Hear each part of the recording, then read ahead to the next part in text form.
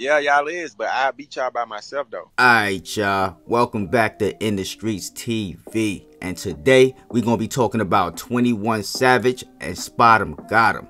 Now, before we get into this video, make sure y'all smash that like button. And if y'all not subscribed to this channel, make sure y'all subscribe with post notifications turned on. So SpotemGottem is at it once again. Now this time he's beefing with 21 Savage for going on Clubhouse saying he can beat any Jacksonville, Florida artist in a versus battle. But it looks like SpotemGottem is not here for it. This is what he had to say. Y'all tell 21 he's smoking good D.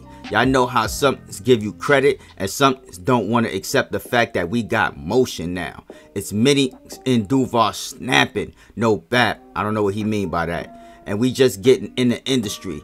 Tell dude that's cat. He not a legend. Only legends can say he not Drake, he not Future. That's facts. He got good albums though, but nobody in Florida rides around bumping 21 all day. Now, if y'all from Florida, man, get down in that comment section. Let me know if y'all play 21 Savage in Florida, man. I'm not from Florida. I'm from Brooklyn, New York. So I really wouldn't know what y'all play down there. You feel me? But anyway, let's see what all the fuss is about. Let's see what 21 Savage had to say. I swear I could beat Jacksonville by myself, This bro. man at Augusta, bro. Jacksonville can't beat Chicago.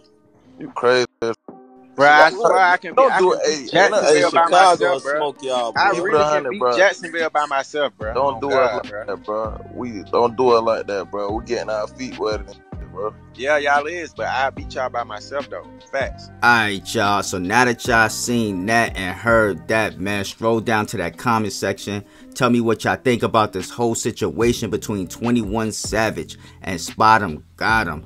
Now, I'm gonna tell y'all what I think before I get up out of here. I think it's just friendly competition. I don't think it's nothing big. I mean, battling been a part of hip hop since the 90s, since the 80s. You know what I'm saying? We could take it way back. You feel me? So I think it's just friendly competition. I think they just trying to build momentum so they could get on verses. You know what I'm saying? And get that bag and put either Jacksonville on the map or Atlanta back on the map. Y'all know how it go. But with that being said, man, make sure y'all smash that like button. And if y'all not subscribed to this channel, make sure y'all subscribe with post notifications turned on. As y'all can see, I'm dropping banger after banger after banger after banger. You feel what I'm saying? If it's not one video a day, it's two videos. If it's not three, it's four. You know how I go. Let's go, man. I'm out. Peace.